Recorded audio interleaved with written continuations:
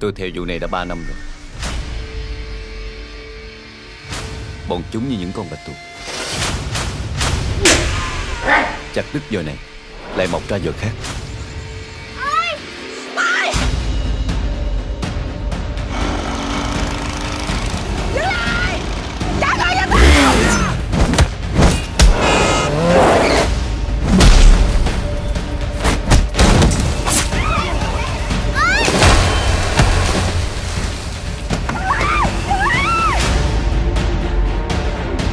Tám đứa này nữa là mình được 30 đứa. Số hàng chiếc này á, rất là lớn.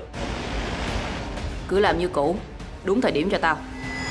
Má mình ngầu lắm. Cái gì má cũng làm được hết á. Cô chỉ còn được có mấy tiếng nữa thôi. Một khi xuống khỏi xe lửa là cô không bao giờ thấy lại được tụi nhỏ nữa đâu. Đây là một đường dây quốc tế Toàn bộ kéo dài từ đèo Hải Dân và tới Cà Mau.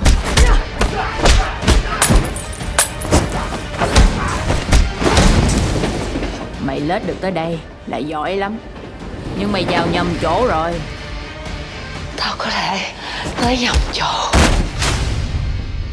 Nhưng mày đã bắt nhầm con tao rồi